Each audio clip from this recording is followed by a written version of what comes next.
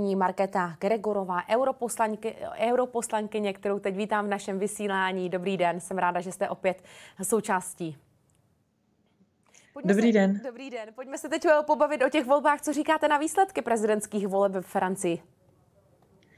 Eh, já si myslím, že svoji občanskou povinnost eh, vůči republice francouzi zvládli a nepustili krajní pravici do úřadu a že v čase té krize, kterou procházíme jako Evropa, je podle mě třeba slavit úspěch kandidáta, jehož cílem je integrace Evropy. Co to znamená pro Evropskou unii, že obhájil tento post? Minimálně to znamená, že Francie eh, se v nadcházejících letech nebude snažit opustit Evropskou unii, což vnímám osobně velice pozitivně. Také si ale myslím, že eh, Macron bude mít určité ambice eh, začít trošku nahrazovat možná Německo, které naopak teď slábne v nějakém vedení té Evropské unie, samozřejmě v přeneseném slova smyslu. A je i možné, že bude opět usilovat o nějaké větší, ambicioznější obrané plány. Jak se vlastně staví Emmanuel Macron k Evropské unii? Emmanuel Macron eh, velice podporuje evropskou integraci jako takovou. To samozřejmě neznamená, že je nekritický k různým aspektům Evropské unie, ale vnímá tu spolupráci, kterou Evropská unie mezi státy nastavuje jako eh, extrémně důležitou a zároveň ale chce, aby Francie toho byla lídrem, aby Francie byla, řekněme, ten nejdůležitější stát což eh, není překvapivé. Každopádně takhle bych eh, schrnula, že Macron vnímá eh, Evropskou unii. Jak se vlastně Emmanuel Macron staví k té situaci na Ukrajině? My už víme z těch předchozích týdnů, že se snažil také zprostředkovat mírová jednání. Byl tou osobou, která se také spojovala právě s tím děním Ukrajina-Rusko. Jak to vnímáte vy? Podle mě je nutné si přiznat, že lídry v tématu Ukrajiny jsme my, Polsko a baltské státy a Francie či Německo nikoli. Tedy i ve Francii vlastně nebyla Ukrajina nebo Rusko tak velkým tématem těch voleb a tedy ho ani Macron tolik neakcentoval, jak možná pro nás by bylo samozřejmé, pro ně ne. Pro ně byly důležité ceny nafty, eh, co se stane se zemí a podobně. Eh, já si myslím, že k tomu ještě dojde, že francouzi více začnou vnímat intenzivně tu válku, nicméně eh, momentálně to tak není. Nicméně, co se týče Macronova názoru jako takového, tak samozřejmě je velice podporující Ukrajinu a prezidenta Zelenského a i proto se nejspíš snažil být nějaký, nějakou formou prostředníka. Nemyslím si ale, že je úplně realistické, že by skutečně byl schopen přesvědčit vraha, že zabíjení je špatné. A právě Putin byl jeden z těch lidí, kteří gratulovali uh, Emmanuelu uh, Macronovi právě k tomu vítězství. Uh, tak jak to berete vy a jaký vlastně mezi sebou mají, mají vztah dlouhodobě? Právě jak naznačuje to, že se vůbec Macron pokusil uh, s nějak s Putinem jednat, tak uh, ten vztah byl vždycky založený poměrně na takovém racionálním uh, vztahu, kdy samozřejmě nejsou úplně přátelé, jako to bylo například v případě Le Pen. Uh, nicméně uh, myslím si, že tahle doba právě pominula a že by si to Macron měl také uvědomit, že už doba nějakého dialogu a diskuze s Putinem vlastně pominula. A myslím si, že i to, že mu Putin gratuloval, tak naznačuje, že Putin to vnímá podobně, že ve Francii by skoro až mohl mít ne úplně spojence ve válce, ale někoho, kdo se bude snažit o příměří, které ale bude nahrávat Putinovi. Doufám, že tímto tímto směrem Macron nepůjde. Když se ještě zaměříme na ty gratulace, tak Miloš Zeman také gratuloval eh, právě nově zvolenému prezidentovi ve Francii. Jaký vztah je mezi Francií a Českou republikou? Eh, od prezidenta Zemana naprosto předpokládám, že se jedná o standard eh, gratulace jinému lídrovi evropské země.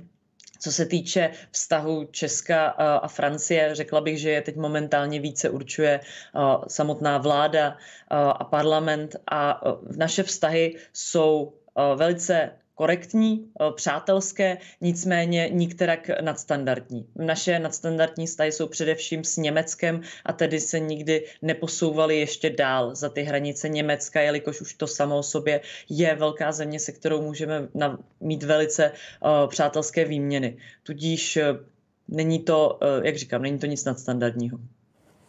Ono se eh, často mluvilo o tom, že Emmanuel Macron je prezident bohatých. Eh, myslíte si, že v tom následujícím období se bude eh, snažit i tenhle pohled lidí malinko změnit a být vzorem také pro obyčejné občany, kteří třeba nemají tolik peněz? Doufám v to. Macron prohlásil, že si uvědomuje, kolik lidí ho nevolilo pro něj, ale jako to menší zlo a že se bude prý snažit být prezidentem všech. Já opravdu doufám, že se tak stane, jelikož právě to, kolik lidí nepřišlo k volbám, kolik lidí vodilo neplatný hlas, protože už je nebaví vybírat si mezi dvěma špatnými kandidáty.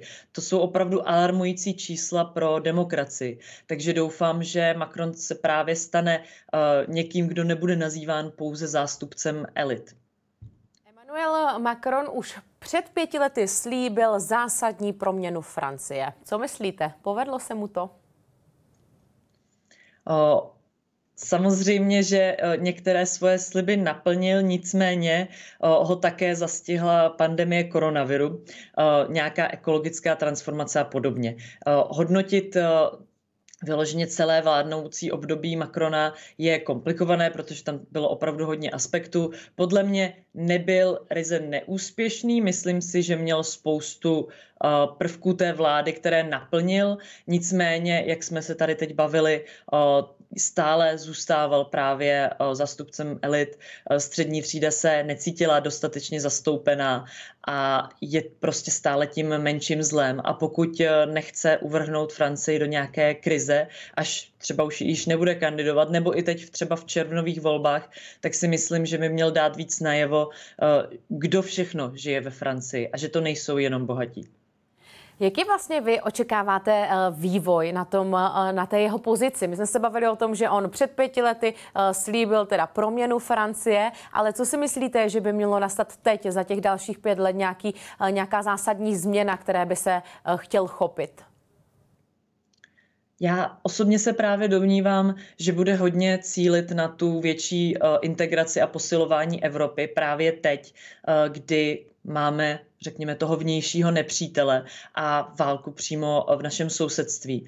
A myslím si, že se pokusí Eh, být lídrem právě v té společné obraně. Macron vždy eh, rád mluvil o společné evropské armádě. Nemyslím si, že je úplně realistické, že nastane něco, co budeme moc nazvat něčím jako společná evropská armáda, ale myslím si, že Macron se bude snažit jít eh, v nějakém velice podobném duchu, aby prostě Evropská unie a evropské státy dali dohromady svoji sílu a byli schopni se v případě potřeby bránit. Když se ještě podíváme na tu eh, jeho kampaň, tak on se jí vlastně neměl moc čas věnovat, protože první byla eh, korona, potom vlastně eh, řešil válku a tak dále. Myslíte si, že možná i tohle byl ten správný krok, jak lidem ukázat, že řeší to podstatné, co se dotýká společnosti a kampaň upozadí i přesto, že mu to může nějakým způsobem nahodit mínusové body? Myslím si, že eh, nechal práci mluvit do velké míry za sebe, což eh, je rozhodně pozitivní. Zároveň Francie předsedala Radě EU, tedy tam bylo opravdu hodně co ukazovat, že on řeší, dělá a vyřešil. Eh, zároveň si nemyslím, že v tom prvním kole bylo moc moudré se neúčastnit těch debat politických. Bylo to nějaké strategické rozhodnutí jeho týmu. Myslím si ale, že tím se ještě více vzdálil těm běžným občanům a těm, co prostě jenom chtěli vidět, jaké jsou jeho názory, když jsou konfrontovány s jeho politickými oponenty. Samozřejmě do debat už v druhém kole slepen šel, nicméně uh, už odradil spoustu těch lidí, co třeba chtělo vidět, jak bude reagovat na Melenchona, jak bude reagovat na jiné. A i to si myslím, že trošku napomohlo těm neplatným hlasům a té neúčasti. A ještě eh, poslední otázka na vás. Poprosím o stručnější odpověď, ale abychom se zaměřili také na Marine Le Penovou, která teda eh, v těchto volbách prohrála. Tak eh, jak vnímáte to, jakým způsobem přijala porážku? Nejsem si jistá, jak přesně ji přijímala. Já jsem nesledovala záběry z jejího štábu, takže doufám, že tam nedošlo k nějakém, nějakému dramatu. Nicméně myslím si, že pro Le Pen je to vlastně do značné míry i úspěch, takže nemyslím si, že byla úplně nešťastná, ale samozřejmě je stále extremistickou kandidátkou, která prostě nedokázala na svou stranu strnout většinu. Já vám v tuto chvíli poděkuji, že jste si na nás našla čas a také za všechny vaše odpovědi. Na naše otázky odpovídala Markéta Gregorová, europoslankyně. Ještě jednou díky, hezký den. Vám také hezký den. Tomuto téma